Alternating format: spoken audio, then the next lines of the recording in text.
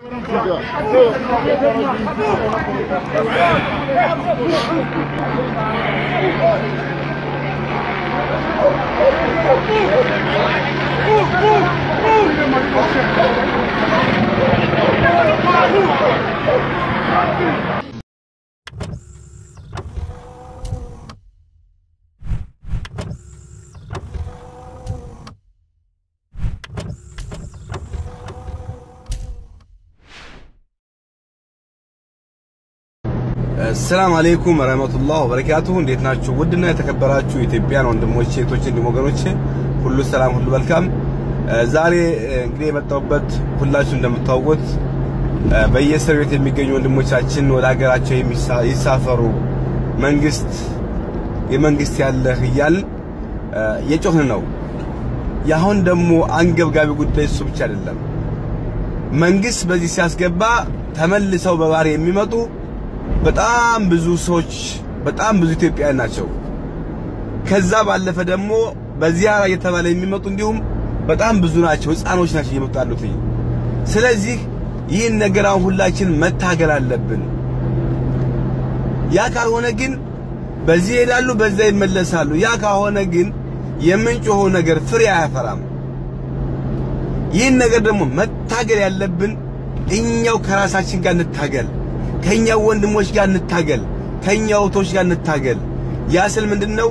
እንደምታውቁት አሁን አብዛኛውን ጊዜ እየሰማሁት ያለ information ሀገር ቤት ህፃኖችን እያፈኑ እያመጡ እስከ የመን የመን ከገቡ በኋላ እየቀጠቀጡ ክፈሉ እያሉ ነው የሚባል ነገር አለ። ያን የሚያደርጉት ያንተ ወንድሞች የኔ ወንድሞች፣ ያንተ እህቶች የኔ እህቶች ናቸው። ይህን ደግሞ መንግስት ቆራጥ የሆነ እርምጃ ሊወስድበት ይገባል። አንድ ደላላ የሰውን ልጅ በባህር አሻግራለሁ ሲል የተቀበለውን ሁሉ ልጅ አያሻግርም። ግማሹ ሙቶ ግማሹ ነው የሚሻገረው። ስለዚህ እንደዚህ ያሉ ደላሎችን መንግስት ደግሞ ሌሎችን ደላሎች ያስተምራል የሚል እርምጃ መውሰድ አለበት። ለዛ ደግሞ እኛ ማህበረሰቦች መንግስትን መተባበር አለብን። ይሄ ዝም ብሎ ጭፍር የሆነ ጥላቻ አለ። ያደለም ዋናው ነገር ዛሬ እነዚህን ወንድሞቻችን እያሻገሩ ያሉ ያንተና የኔ ወንድሞች ናቸው። ያንቺና የኔ ወንድሞች እህቶች ናቸው፣ የማንም አይደሉም። ስለዚህ አሁን በየእስር ቤቱ ያሉ ወንድሞቻችን ይግቡ እያልን የምንጮኸው ጩኸት ፍሬ እንዲያፈራ ከተፈለገ ነገ ነገ ወዲያ አመት ከሁለት ወር ከአምስት ወር ታስረው በባህር መልሰው የሚመጡ ሰዎችን ነገ ቢገቡ ላለመጮህ መቆጥ አለብን፣ ወይም ደግሞ እንዳይመጡ መታገል አለብን። የሚያመጡ ደላሎች ጋር መታገል አለብን። ያ ካልሆነ ግን ነገም ነገም ወዲያ ከዛም እያልን ጩኸታችን ፍሬ ሳያፈራ ለአንድየው ሰሚ እናጣለን። አንዳንድ አላስፈላጊ የሚመጡ ምክንያቶች አሉ። እነሱ ምክንያቶች እኔ በግሌ አልቀበልም። በቃ መታገል ካለብን ሁላችን አብረን እንታገል፣ አብረን እንፋለም። ወንድሞቻችን በበረሃ እየቀሩ ነው። ወንድሞቻችን በስረት እየቀሩ ነው። ይህን እያደረገ ያለው ምንድነው? ከዛ እየተቀባበለ የሚያመጣ ደላላ ነው። ከየት ከኢትዮጵያ አለ፣ ከጅቡቲ አለ፣ ከየመን አለ፣ ከጂዛን አለ፣ ከጅዳ አለ። በየቦታው ተያይዘው ነው ይህን ነገር እየሰሩ ወንድሞቻችን እንዲሞቱና እህቶቻችን እንዲያልቁ እየተፈረደባቸው ያለው። ይህን ነገር ደግሞ መታገል የኛ ነው እንጂ የማንም ስራ አይደለም። እኛው ነን እያንዳንዳቸው እያጋለጥ እርምጃ እንዲወሰድባቸው ማድረግ ያለብን። እኛ ደግሞ አሳልፈን ስንሰጥ መንግስት ደግሞ አስተማሪ የሆነ ቅጣት መቅጣት አለበት። ልፍስፍስ ያልሆነ ነገር ቆራጥ የሆነ መስጠት አለበት። ዛሬ አስሮ ነገ የሚለቃቸው ከሆነ ዋጋ የለውም። እስካሁን የነበረ ይሄ ነው። ደላላ ይያዛል፣ ነገ ነገ ወዲያ ይፈታልኝ፣ ስራውን ይሰራልኝ። ስለዚህ አሁን ቆራጥ እርምጃ መውሰድ አለበት መንግስት። ሁላችንን ወደ ትግሉ መግባት አለብን። ትዕግስት አለሙ ነው። ጆርዳን ሀገር ነው ያለሁት። ከአሰሪዎች ቤት ወጥቼ መክተብ ነኝ። ግን መክተቡ ለሌላ ሰው ሊሸጠኝ ድምፅሽን ትንሽ ለሌላ ሰው ሊሸጠኝ ኩላሊቴን እንዲያወጡት ለሌላ ሰው ሊሸጠኝ ነው በብር እና ድረሱልኝ። ኢትዮጵያውያን በሙሉ ችግር ላይ ነኝ። ትዕግስት አለሙ እባላለሁ። የትውልድ ሀገርሽ የትውልድ ተወለድሽው ቦታ አዲስ አበባ ነው የምኖረው። ብርጭቆ ኢትዮጵያውያን በሙሉ ድረሱልኝ። አዲስ አበባ ብርጭቆ ኤጀንሲው ከሊፋ ህንፃ ይገኛል። እዛ ነው የሚገኘው። ኤጀንሲውን እንድትጠይቁ አድርጉልኝ። ለወንድሜም ንገሪ፣ በቃ ደውይና እሺ የወንድምሽ ስምሽ ማን ነው እና አሸናፊ ከበደ ነው። እኔ ትዕግስት አለሙ ነኝ። እና አደራ ኢትዮጵያውያን በሙሉ ድረሱልኝ፣ ህይወቴ እንዳይበላሽ። ከወጣሁኝ አራት ወሬ ነው። እሺ እስኪ ያሳይኝ።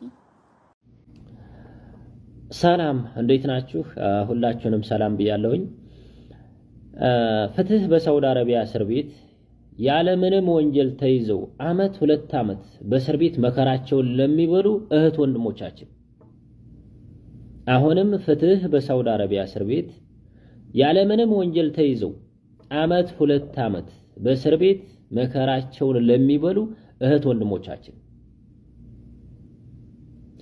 እውነት ነው የምላችሁ። አሁን እስር ቤት ያለው ሁኔታ ጥሩ አይደለም። ያው የእስከ ዛሬው ጥሩ ነው ማለት አይደለም፣ ጥሩ አይደለም። ነገር ግን ከእስከ ዛሬው ይልቅ አሁን በበለጠ ሁኔታ በጣም በጣም ከፍቷል። ስለዚህ በዘር በሃይማኖት ከመከፋፈል ይልቅ በተለይ በሳውዲ አረቢያ የምንኖር ኢትዮጵያውያን በማይጠቅም ነገር እየተከፋፈል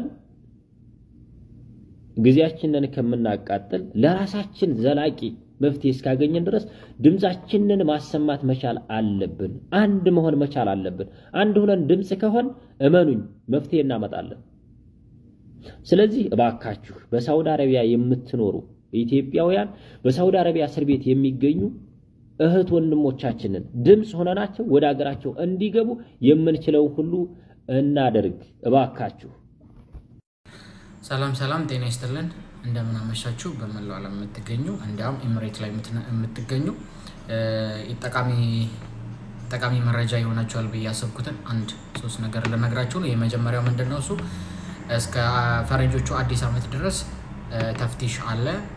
ID ያሌላቸው ልጆች ወይም የመኖሪያ ፈቃድ ያሌላቸው ልጆች በብዛት እንዲወጡ ተብሎ ትዕዛዝ ተላልፏል። specially ሻርጃ ላይ በጣም ብዙ ሰው እየተያዘ ነው እና ID ያሌላችሁ ልጆች runaway የሆናችሁ ልጆች ጥንቃቄ አድርጉ። አንድ እሱ ነው።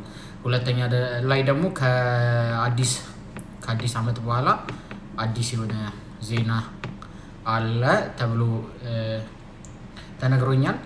ስለዚህ ህጋዊ ለመሆን ያሰባችሁ ልጆች ፓስፖርታችሁን እንዲሁም document ኣችሁን እሱን እንድታስተካክሉ ነው። ሶስተኛው ደግሞ በ visit visa እስካሁን ድረስ visit visa ወደ employment visa እየተቀየረ ነው። ምንም አዲስ ነገር የለም ማለት ነው። ልጆች ብዙ ልጆች እየፈሩ ያሉ ልጆች አሉ፣ ግን እስካሁን ድረስ እየሰራን ነው። ይሄ ቪዛ ነው። ቲክቶክ ላይ ማሳየት አልችልም።